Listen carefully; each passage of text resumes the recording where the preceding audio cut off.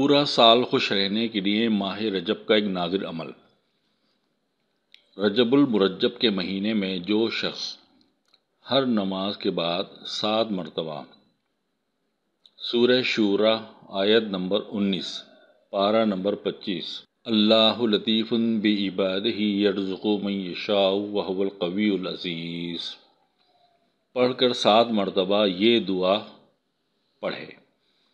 آدم نعمت کا ولطف بنا فیما ہو علینا۔ انشاءاللہ پورا سال خوشحالی اور فراوانی رہے گی۔ جو نعمت بھی اس کے پاس ہوگی، وہ ہمیشہ اس کے پاس رہے گی۔